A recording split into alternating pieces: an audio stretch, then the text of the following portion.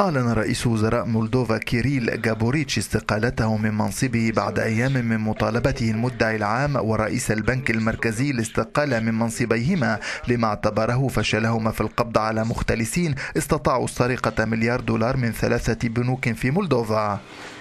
وكان المدعي العام قد رد بدوره على انتقادات رئيس الوزراء بفتح تحقيق بشأن تزوير جابوريتش لشهادات تخرج مدرسية وجامعية. جابوريتش الذي تولى قبل أربعة أشهر وبعد مفاوضات متعثرة رئاسة حكومة أقلية موالية للغرب في البلد السوفيتي السابق الساعي للانضمام إلى الاتحاد الأوروبي أعرب عن أمله في أن تؤدي استقالته إلى تشكيل حكومة أغلبية جديدة.